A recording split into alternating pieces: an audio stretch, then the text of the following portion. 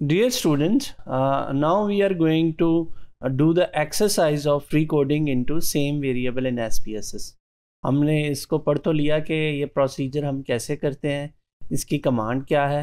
अब हम इसका प्रैक्टिकल करने जा रहे हैं S P S S software में। चले आइए देखते हैं कि ये कमांड हम कैसे परफॉर्म करते हैं। स्टूडेंट्स uh, हमारे पास यहाँ पे एक वेरिएबल है फियर ऑफ़ कोरोना वायरस का।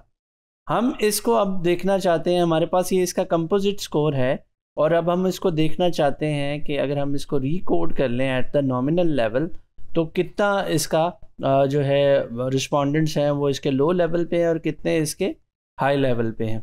सबसे पहले हमें इस कंपोजिट स्कोर की रेंज देखनी होगी कि ये इसका मिनिमम स्कोर क्या है और मैक्सिमम स्कोर क्या है। तो उसके लिए हम जाएँगे एनालाइज में और डिस्क्रिप्टिव स्टेटिस्टिक्स में हम डिस्क्रिप्टिव्स पे क्लिक करेंगे और अपना ये वेरिएबल हम सेलेक्ट करेंगे और ऑप्शंस में हम इसकी जो है मिनिमम और मैक्सिमम के साथ मीन भी देख लेते हैं। कंटिन्यू पे क्लिक करेंगे और उसके साथ ओके okay पे क्लिक कर देंगे। तो आपके पास आउटपुट व्यू में इसके स्टेटिस्टिक्स आ जाएँगे, जिसमें आपको ये नज़र आ रहा है कि यहाँ पर इसका जो है टोटल uh, जो रिस्पोंडेंट्स हैं वो 501 है। इसका मिनिमम स्कोर सेवन है। मैक्सिमम स्कोर थर्टी फाइव है। और इसका मीन जो है 18.57 है। रिकॉर्डिंग करते वक्त uh, दो प्रिंसिपल्स हैं। एक प्रिंसिपल तो ये है कि आपकी जो रेंज है आप उसको इक्वली डिवाइड कर लें और उसकी बेसिस पे दो कैटेगरीज बना लें। और दूसरा ये प्रिंसिपल है कि आप मीन की बेसिस पे दो कैटेगरीज बना लें। तो हम वन बाय वन करके दोनों को देखते हैं। हम दोबारा जाएँगे अपनी डाटा एडिटर विंडो में। वहाँ पर जाकर हम जो है ट्रांसफॉर्म पे क्लिक करेंगे और ट्रांसफॉर्म में रिकोड इनटू सेम वेरिएबल पर क्लिक करेंगे। तो ये डायलॉग बॉक्स आपके पास ओपन हो जाएगा। यहाँ पर आपने फियर को जो है क्लिक करना है और उसके बाद ये आपसे पूछेगा कि ओल्ड एंड न्यू वैल्यूज़ इस पर आप, ये टैब आपका फंक्शनल हो जाएगा। आप इस पर क्लिक करेंगे और यहाँ पर आपने अपने वैल्यूज़ की रेंज देनी है। तो हमने डिसाइड किया है कि फ़र्स्ट हम जो है मीन की बेसिस पे दो कैटेगरीज बनाते हैं। तो हमारी मिनिमम जो वैल्यू है, वो डाटा सेट में वो सेवन है और हमारी जो मैक्सिमम वैल्यू है वो थर्टी फाइव है और मीन हमारा एटीन है। तो हम एटीन की बजाय नाइनटीन तक जो है एक कैटेगरी बनाते हैं, उसको हम वन कहते हैं और ऐड कर लेते हैं। और ट्वेंटी से थर्टी फाइव तक हम अपनी दूसरी कैटेगरी बनाते हैं और उसको हम टू कंसिडर कर कर ऐड कर लेते हैं। और इसके बाद हम कंटिन्यू का टैब जो है उसको क्लिक करते हैं। तो इसके बाद ये आपसे पूछेगा, ओके, का टैब आपने दबाना है। तो ये आपके पास आउटपुट व्यू में ये कमांड जो है एग्जीक्यूट अगर आ रहा है तो इसका मतलब ये कमांड सक्सेसफुली जो है वो ऑपरेट हो गई। तो अब हमारे पास, जहाँ पे पहले फियर का स्कोर था, अब उसकी बजाय हमारे पास जो है वन टू की कैटेगरी आ गई है। तो जैसे मैंने आपको लेक्चर में बताया था कि जब हम वन टू की कोडिंग कर लें तो फिर उसके बाद हमने जाकर इसको वैल्यूज़ में जाके कोड करना है। तो वैल्यू वन को हम कोड करेंगे एज लो और वैल्यू टू को हम कोड करेंगे एज हाई इनको ऐड कर देंगे ओके okay करेंगे और वापस डाटा सेट में आएँगे तो यहाँ पे आके आप, अब अगर इसको वैल्यू लेबल की जो है आइकॉन पे क्लिक करेंगे तो आपके पास ये लो और हाई की फॉर्म में आपको नज़र आना शुरू हो जाएँगे। स्टूडेंट्स हमने मीन की बेसिस पे रिकॉर्डिंग करके तो देख ली। अब हम रेंज की बेसिस पे रिकॉर्डिंग करेंगे।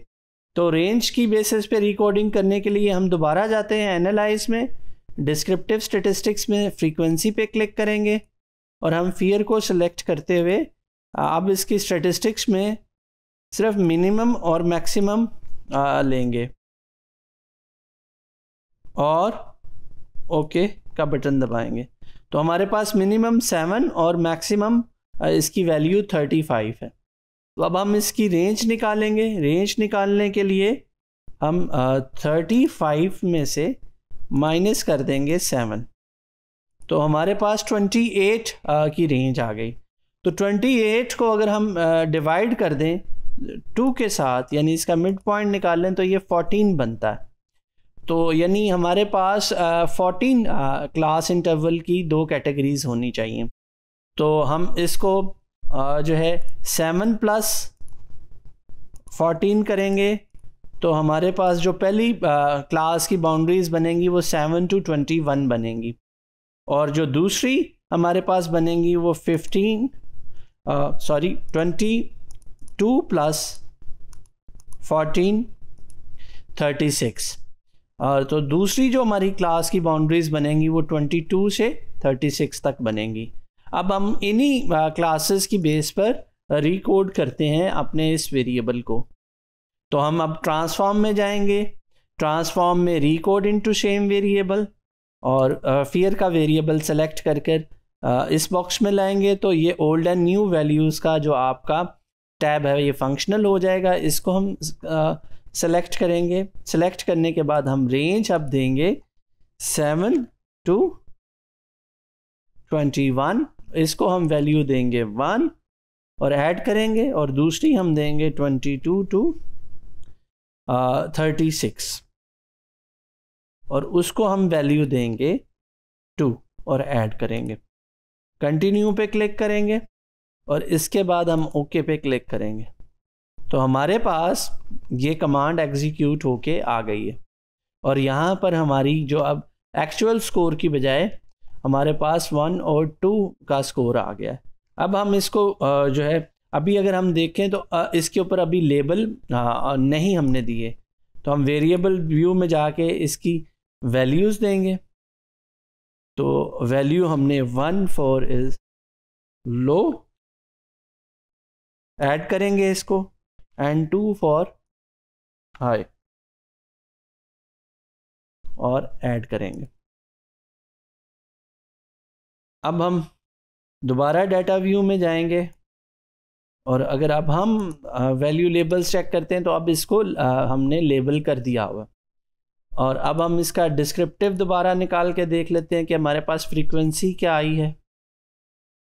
तो फियर की अगर हम फ्रीक्वेंसी टेबल देखें और इसका कोई और स्टैटिस्टिक्स ना देखें ओके करें? तो अब हमारे पास लो की कैटेगरी में 361 रिस्पोंडेंट्स हैं और हाई की कैटेगरी में 140 रिस्पोंडेंट्स हैं। तो जहाँ पे पहले हमारे पास यहाँ पे 290 और यहाँ पे 211 रिस्पोंडेंट्स थे जब हमने मीन की बेसिस पे किया तो लो कैटेगरी में हमारे पास 361 रिस्पोंडेंट्स हैं और हाई कैटेगरी में 140 रिस्पोंडेंट्स हैं। जब हमने मीन की बेसिस पे किया था तो हमारे पास लो कैटेगरी में 290 रिस्पोंडेंट्स थे और हाई कैटेगरी में two hundred and eleven respondent थे। तो इस वजह से ये बड़ा इंपॉर्टेंट है कि आप जब कोडिंग कर रहे हैं इन टू सेम वेरिएबल तो आप कौन सा मेथड इस्तेमाल करते हैं? आप मीन की बेसिस पे कोडिंग करते हैं या आप रेंज की बेसिस पे कोडिंग करते हैं? आ, इसके लिए बेहतर ये है कि आप जिस स्केल को कोड करने जा रहे हैं उसकी आप एग्जिस्टिंग मेथडोलॉजी देखें कि उसको रिकॉर्डिंग के लिए क्या डायरेक्शंस दी गई हैं। उसकी इंडेक्सिंग करने के लिए क्या डायरेक्शंस दी गई हैं और उसकी रिकॉर्डिंग करने के लिए क्या डायरेक्शंस दी गई हैं। आप प्रीवियस लिटरेचर व्यू को देखें तो उसकी बेसिस पर आप जो अप्रोप्रिएट मेथड है वो यूज़ करें।